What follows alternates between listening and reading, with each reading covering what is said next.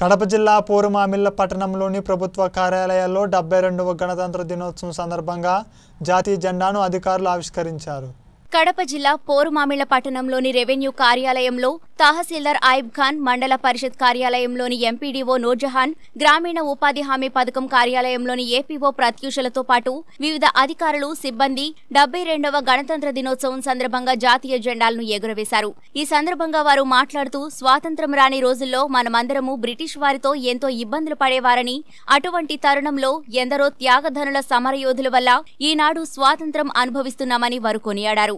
అదేవిధంగా స్వాతంత్ర సమరయోధులు స్వాతంత్ర్యం కోసం ప్రాణాలు కోల్పోయారని అమరవీరుల త్యాగఫలమే ఈనాటి స్వతంత్ర భారతదేశమని వారన్నారు. ఈ కార్యక్రమంలో ప్రతి ప్రభుత్వ కార్యాలయంలోని అధికారులు సిబ్బంది తదితరులు పాల్గొన్నారు.